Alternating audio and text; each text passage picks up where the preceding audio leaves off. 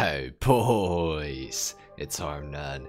Today we're going to customize the Avenger with the new customization options that we have the ability uh, to add to this vehicle.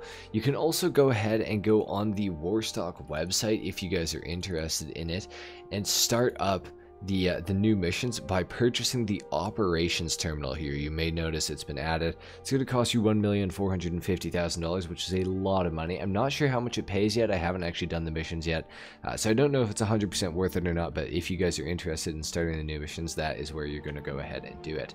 Uh, so anyways, let's enter in so anyways, let's enter into the Avenger here and see what new customization options await us here. Obviously, it's weird seeing the Avenger in the hangar, but it is kind of cool at the same time. So anyway, let's customize this thing. Uh, we got some Charlie upgrades that we can do right here. Uh, for the operations terminal, you can also add that in here. You can add the Mammoth Avenger thruster into the Avenger hold, which is pretty interesting. We have autopilot defenses, which you can go and add a stealth module as well as a missile lock-on jammer with the engine with the Avenger, which is insane. So if you have autopilot, people can't lock onto you. You can also have the stealth module though, which hides the Avenger from enemy radars or maps when autopilot is engaged. This is going to be hell on earth if you're getting griefed by an Avenger and they have stealth mode because you're not even going to know where it is on the minimap. So both of these things are pretty good. I would say the stealth module is just a little bit better though, so that's what I'm going to go for today. Primary weapons, you can also add a front top mounted turret um, as opposed to having front, top, and rear turrets. Um, so you should definitely have front, top, and rear turrets instead of just a uh, front-mounted turret for sure.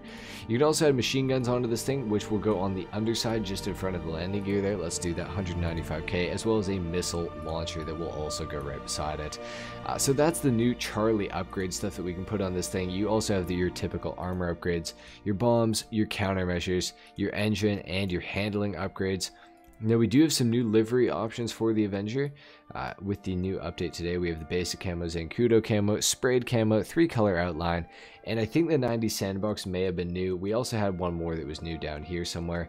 Uh, are there any other new ones? Large geometric, large digital, maybe not. Maybe these aren't new actually. Now we also have the hunting camo livery, the pink and green camo, Santo Capra coins livery, Sessanta Nove multicolor and uh, Dala Dala as well.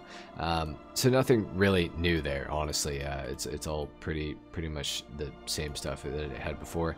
Kind of like my crew color on this thing, so I'm actually going to change that as well uh, because obviously we can do that. So let's go ahead and do it. I'm going to keep the secondary matte black though, kind of like the look of it. Uh, so let's exit the aircraft workshop and let's actually exit the hangar itself and uh, see the uh, the new upgrades that the Avenger has got. Now, interestingly enough, with the Avenger, uh, they've also changed the key to go into hover mode uh, from I believe it was H before or maybe you had to press E um, now you have to hold G. Now you have to hold G and that will change you into uh, into uh, flying mode or plane mode as well. Uh, so this is pretty cool. I actually kind of like this change a little bit. I think it's pretty awesome. Uh, now the machine guns that are on this thing I think they might be pretty powerful. I'm not 100% sure on this. We're going to find out real quick. Um, as soon as we run into something to blow up, uh, they don't seem like they're that good. Maybe I didn't hit enough shots. Let's see. Let's shoot this uh, shoot this Merryweather. Uh, oh, that's not a Merryweather Jeep. Never mind, my bad. Um, actually, maybe they do a decent amount of damage. I'm really not sure.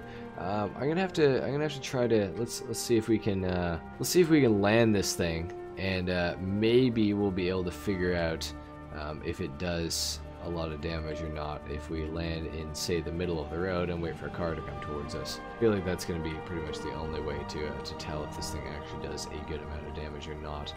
Unfortunately, we just missed that uh, the vehicle right there. Let's wait for let's wait for something to something to pull up on us here, and uh, we'll see we'll see how the uh, how the Avenger uh, how the Avenger fares nowadays uh, with these new upgrades. Oh, the police are here. I see. Okay, well, let's... You know what? Unfortunately for them, they're going to be our test subjects uh, today, so let's see. Let's see how they fare um, against the Avengers' new machine guns. It seems like Oh, uh, they do. They do a lot of damage. They do a lot of damage. I think they do more than the buzzard. I would say for sure. Uh, you can also switch uh, weapons. You can switch to the homing missiles or non-homing missiles as well. By the way, uh, these seem like they have some pretty aggressive tracking. I could be wrong. They're not fully spammable, by the way, either.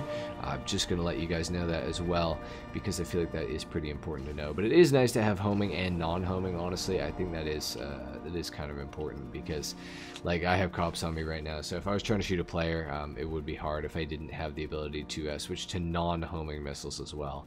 And of course, it still has the bombs and everything like that that you uh, that you will want. So that is uh, that is pretty good. This the, these new changes are honestly, I think they're pretty good for the Avenger. I think they maybe maybe the Avenger should have had this all along. Uh, but you know what? Better late than never. And uh, you know the change from uh, from holding um, E or whatever it was to switch to VTOL uh, or switch between VTOL mode and uh, and plane mode with the Avenger. It is nice and it works a little bit better as G, where you can uh, just press G to open the the landing gear and then you can hold G to uh, switch it into VTOL mode or into uh, into plane mode as well. So that is a nice upgrade and a nice change for, for the PC version at least. I'm not sure if that will have changed on console but on PC it definitely did. So uh, that is something new for sure. Um, yeah it's definitely it's definitely good to see the Avenger have some uh, have some new toys and some new uh, some new tricks up its sleeve for sure. So yeah good good stuff. Um, Anyway, guys, thank you so much for watching. If you uh, if you found this helpful or useful at all, a like is of course appreciated. If not, dislike, of course. Uh, subscribe to my channel if you guys are new. I'm covering everything to do with the update today. I've already covered uh, pretty much all the customizations and everything like that. Uh, so go check that out if you guys haven't already. And uh, yeah, and I will see you all in the next video. Until then, take care. Peace.